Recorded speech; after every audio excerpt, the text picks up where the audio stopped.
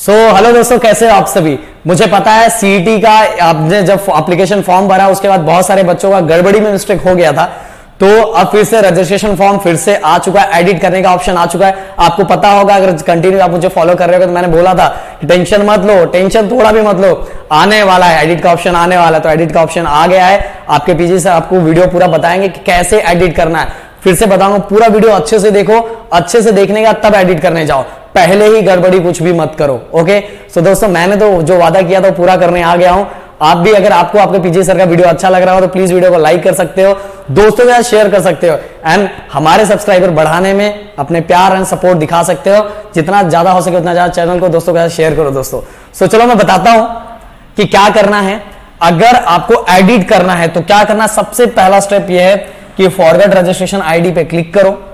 ध्यान से देखते जाओ मैं क्या क्या कर रहा हूँ। स्टेट बोर्ड पे क्लिक करो, यहाँ सीट नंबर डालो, जो सीट नंबर मुझे लेना है वो A three nine two six one लेना है। इनकी मदर का नाम है तुलसी तो डाल दिया। देखो, ये चीज़ एकदम प्यार से। देन ओके कर दो।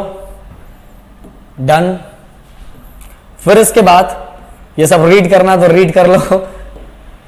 ओके किया। अब दोस्तों, ये देखो, ये आ गया। है आपको अगर आपने देखा कि आपका सब कुछ सही है, आपका सब कुछ सही है तो कुछ भी मत करो। ओके कुछ भी मत करो लॉग आउट कर दो। बट आपको अगर आप फॉरवर्ड में आए हो तो आपको कुछ तो एडिट करना पड़ेगा। एडिट करना होगा। करना पड़ेगा ज़रूरी नहीं। जब करना होगा तो ही करना। तो एडिट करना है। तो अब यहाँ अनलॉक एप्लीकेशन फॉर्म पर क्लिक करो। क्लिक किया। यहाँ लिखो, या इस पे क्लिक करो I want to unlock my application form unlock किया। अनलॉक पे क्लिक करो। ओके ओके अब दोस्तों, चुपचाप क्या करो, यहाँ कुछ भी नहीं करना है, यहाँ कुछ भी नहीं करना है, कुछ भी नीचे ओके ओके कुछ नहीं करना फिर से बता रहा हूँ, कुछ भी ओके नहीं करना है। ओके तब करना जब आपका करेक्ट है, आपको एडिट करना है। मैंने फिर से बताया एप्लीकेशन अनलॉक पे क्लिक करने के बाद आपने अनलॉक किया, ये एप्लीकेशन फॉर्म आया देन यहाँ कुछ भी नहीं करना है, फिर से बता रहा यहाँ ओके और इस पर कुछ नहीं करना है। इसको बस चुपचाप लॉग आउट कर दो। लॉग आउट कर दिया, फिर से वही काम करना है forget registration state board, seat number, कौन सा सीट नंबर मैंने लिया है, मैं देख लू सिक्स वन वाला ओके जिनके मदर का नाम है तुलसी ओके देन ओके किया।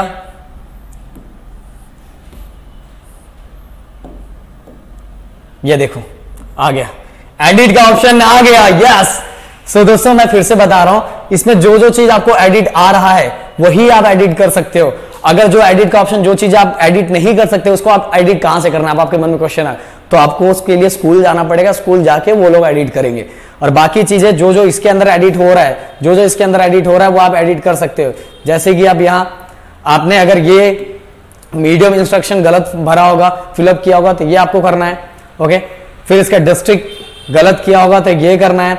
फिर एग्जामिनेशन सेंटर का जो तालुका वार्ड ये गलत किया हो तो ये कर सकते हो। देखो आ रहा है ऑप्शन ओके फिर करके, यहाँ तो सब चीज़ें सही है तो इसलिए देखो, ये सेट ने इसमें ईमेल आईडी नहीं डाला है। तो अगर जिसका, किसका ये भाई? किसका है ओमकार सर? मुरलीधर। मुरलीधर। आप देख लो, आप ईमेल आईडी इसमें डाल देना। ईमेल आईडी डाल देना। तो ईमेल आईडी आप इसमें ऐड करके ऐड करके सेव और नेक्स्ट कर दो। देखो, आ गया। ओके अब आपको कंफर्म हो गया।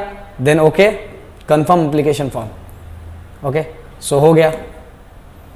आपका ये इसी तरफ़ से तो करना है। क्या इसके अंदर हार्ड है? एंड देन चुपचाप लॉग आउट कर दो। और इस तरह से आपको सीईटी का इलेवन स्टैंडर्ड में एडमिशन के लिए जो सीईटी का एप्लीकेशन फॉर्म है वो इस तरह से भरना है। सो so, दोस्तों आपको पूरा वीडियो बहुत पसंद आएगा। मुझे ऐसा लग रहा है मैंने पूरा एक एक चीज़ बताया। आपको अनलॉक कैसे करना वीडियो को अगर प्यारी से देखोगे तो सब समझ में आएगा कि कितने बार मैंने लॉग आउट किया कैसे किया पीछे करके देखो एक बार।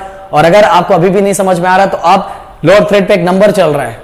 उस पर कॉल करो और कॉल करो या व्हाट्सएप पे व्हाट्सएप पे मैसेज करो, हमारी टीम आपका हेल्प करेगी। हमारी टीम आपका पूरा हेल्प करेगी, बस मैसेज डाल के रखो, हम एडिट करके देंगे। तो thank you so much guys इतना प्यार है सपोर्ट दिखाने के लिए इसलिए हमारा भी सपोर्ट आपके लिए बना हुआ है।